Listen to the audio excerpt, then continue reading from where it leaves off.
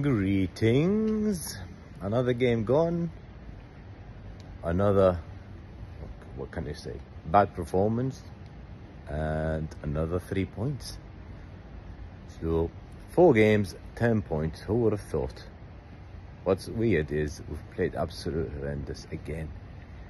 And this time it was the lineup as well. Every single fan was expecting Tonali to start after the, the two international games he had but they didn't. And uh, we saw how shocking the first half was especially the person responsible for the first goal which was Longstaff with a stupid pass. About a meter he can't pass. If anyone noticed his other pass in the game he was he, he kicked it into the ref. Absolutely useless man.